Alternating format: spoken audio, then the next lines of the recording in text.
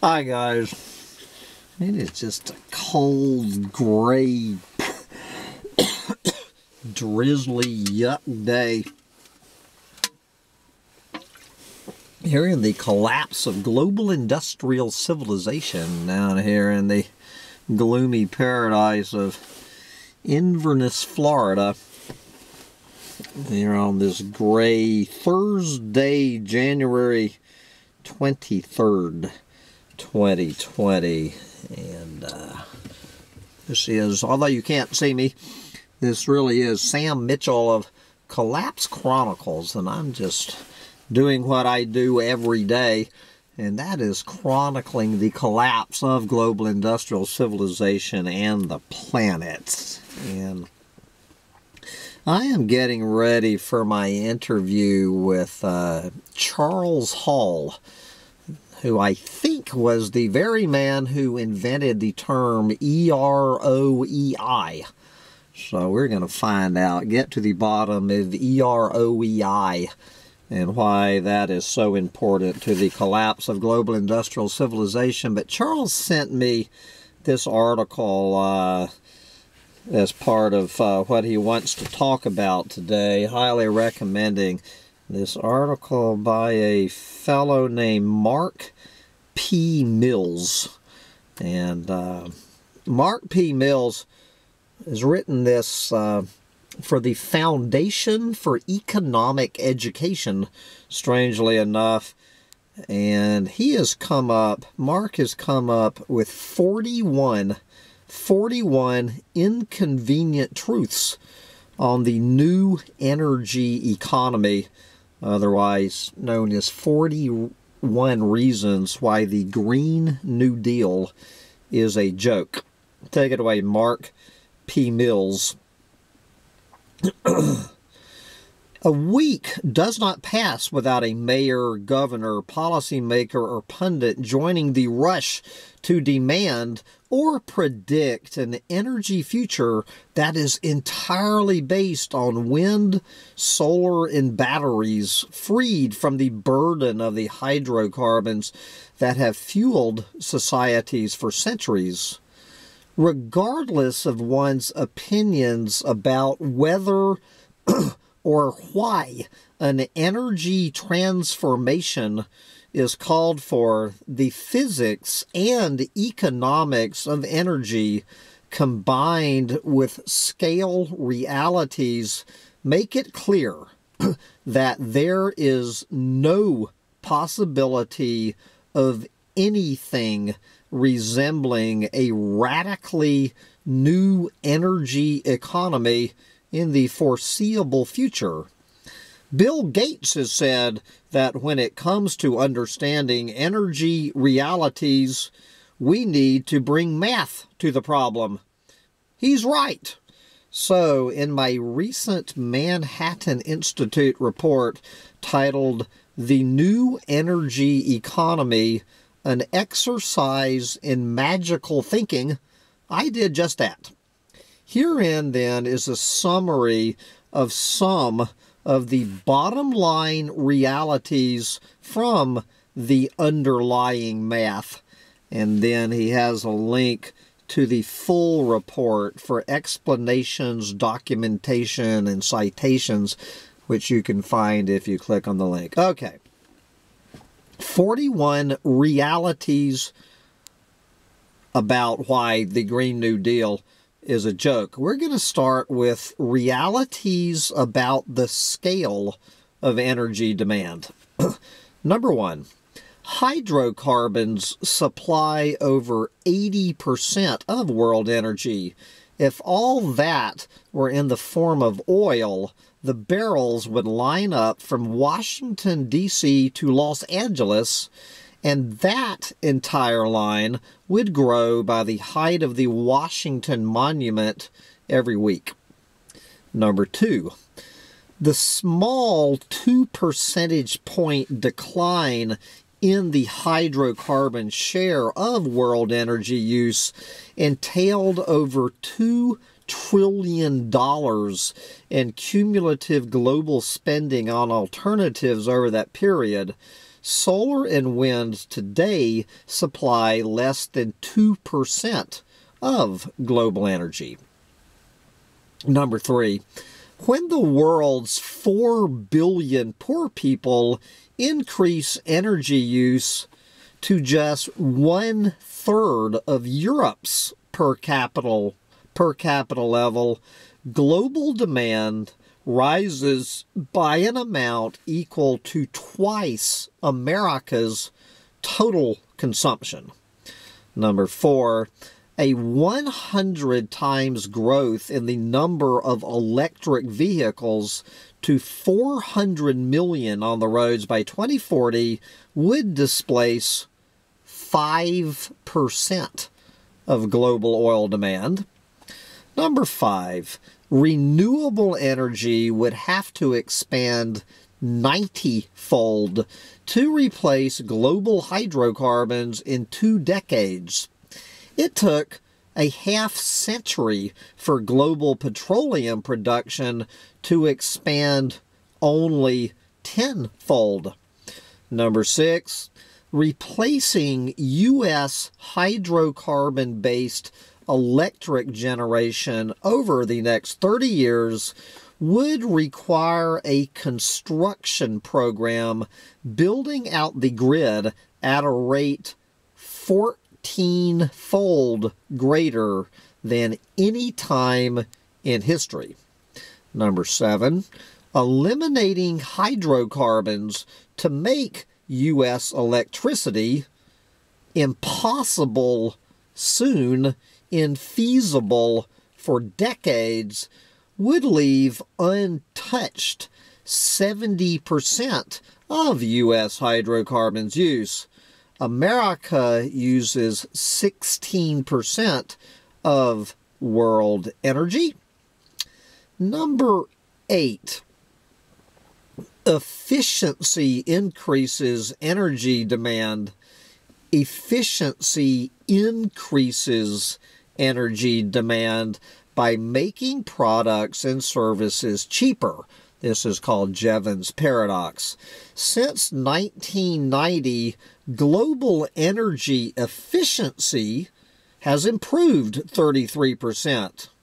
The economy grew 80%, and global energy use is up 40%. Hmm. Number nine, efficiency increases energy demand.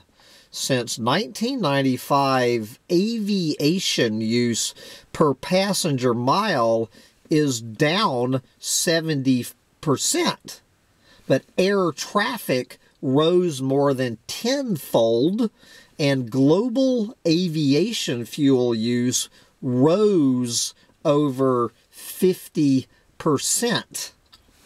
Number 10, efficiency increases energy demand. You're noticing a repeating pattern here.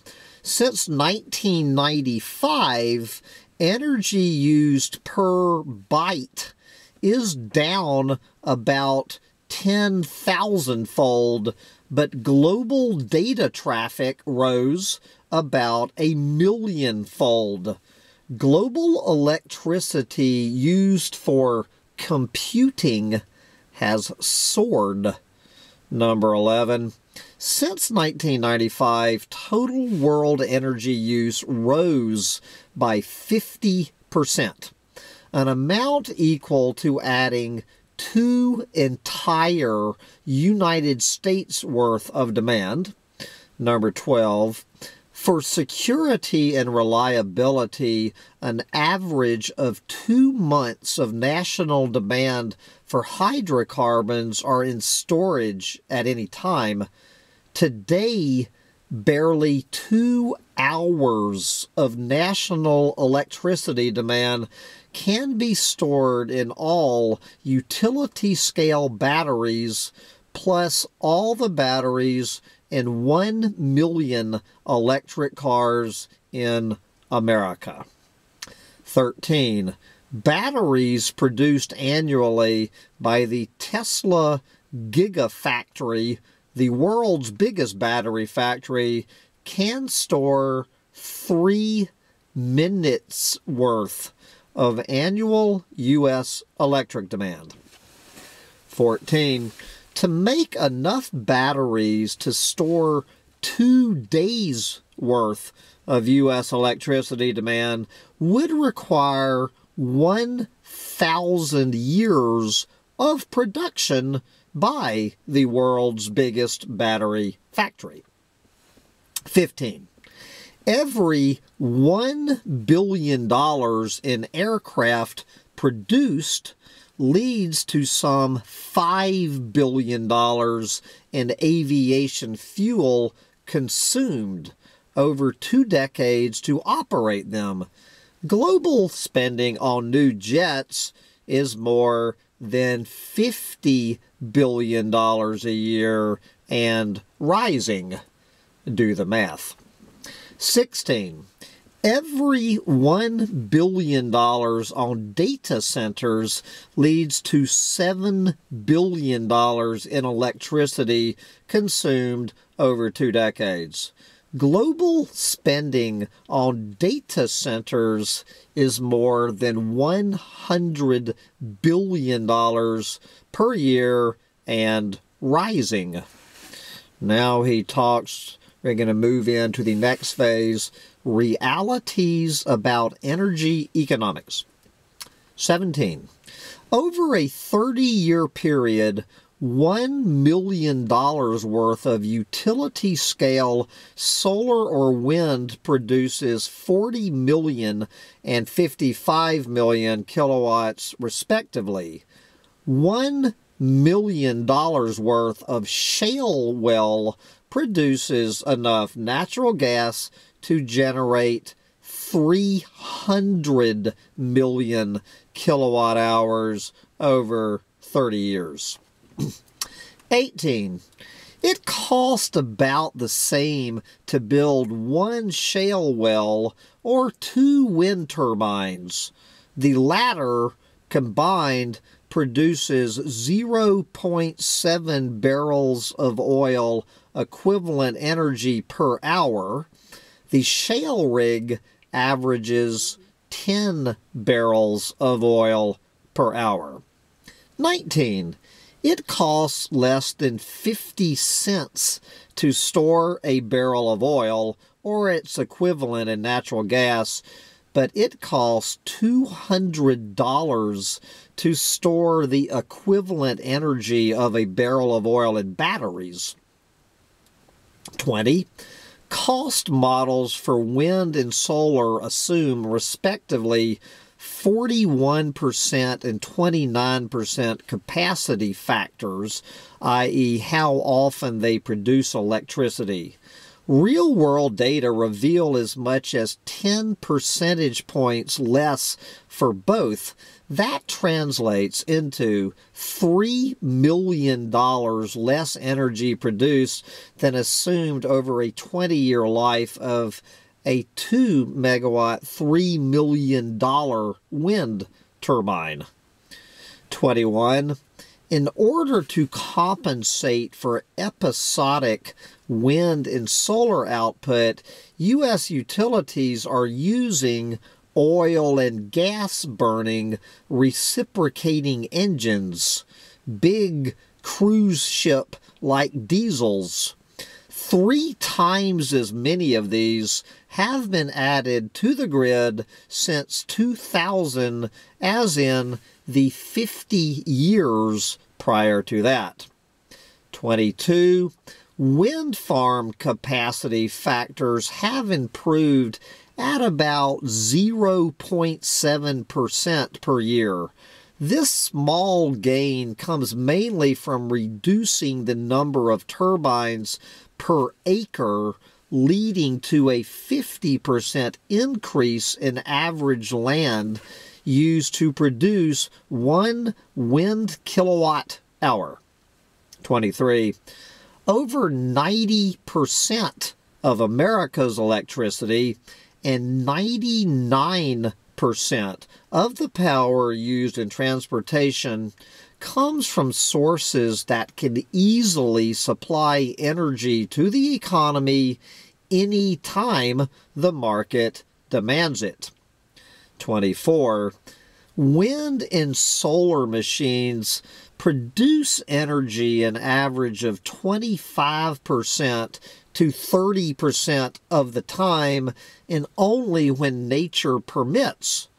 Conventional power plants can operate nearly continuously and are available whenever needed. 25.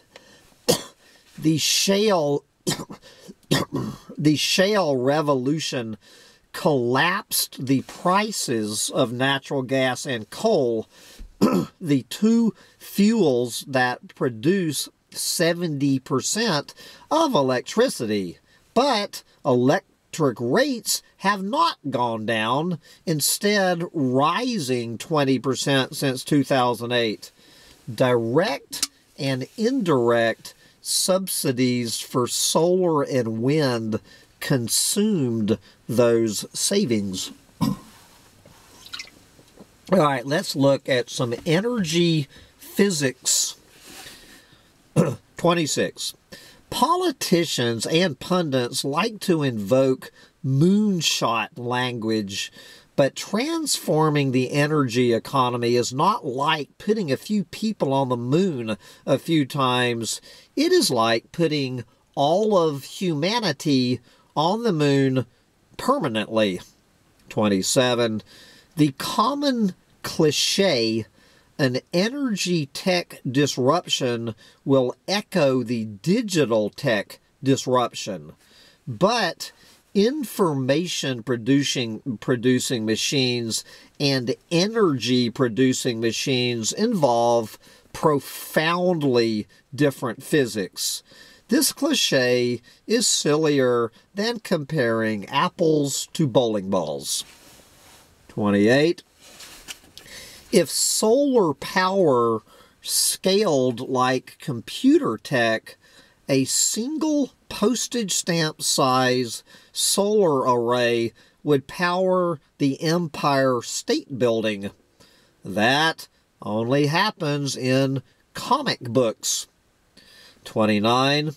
If batteries scaled like digital tech, a battery the size of a book costing 3 cents could power a jetliner to Asia. That only happens in comic books. 30.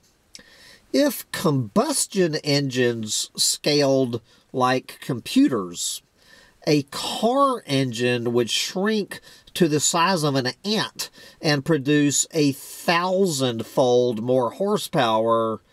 Actual ant-size engines produce 100,000 times less power. 31. No digital like 10 time gains exist for solar tech. Physics limit for solar cells is a max conversion of about 33% of the photons into electrons. Commercial cells today are at 26%. 32. No digital like 10 time gains exist for wind tech. Physical limit for wind turbines is a mass capture of 60% of energy in moving air. Commercial turbines now achieve 45%. 33 no digital like 10 times gains exist for batteries. Maximum theoretical energy in a pound of oil is 1,500% greater than max theoretical energy in the best pound of battery chemicals. 34. About 60 pounds of batteries are needed to store the energy equivalent of one pound of hydrocarbons. 35. At least 100 pounds of materials are mined, moved, and processed for every one pound of battery fabricated. 36. Storing the energy equivalent of one barrel of oil, which weighs 300 pounds, requires 20,000 pounds of Tesla batteries worth $200,000. $200,000 versus what is a barrel of oil today about 55 37 carrying the energy equivalent of the aviation fuel used by an aircraft flying to Asia would require $60 million worth of Tesla type batteries, weighing five times more than that aircraft. 38. It takes the energy equivalent of 100 barrels of oil to fabricate a quantity of batteries that can store the energy equivalent of one single barrel of oil. 39. A battery centric grid and car would mean mining gigatons more of the earth to access the lithium, copper, nickel, graphite, rare earths, cobalt, etc., and using millions of tons of oil and coal, both in mining and to fabricate metals and concrete. 40. China dominates global battery production with its grid 70% coal fueled and electric vehicles using Chinese batteries will create more carbon dioxide than saved by replacing oil burning engines. 41 the 41st inconvenient truth about the Green New Deal and all the rest of this crap, one would no more use helicopters for regular transatlantic travel than employ a nuclear reactor to power a train or photovoltaic systems to power a nation. So, who is Mark P. Mills? Mills. Mark P. Mills is a senior fellow at the Manhattan Institute, a McCormick School of Engineering faculty fellow at Northwestern University, and the author of Work in the Age of Robots. Maybe we need to get Mark on the line. But right now, I got to get ready to get Professor Charles Hall on the line to give us a reality check about where we are in the opening bell of 2020.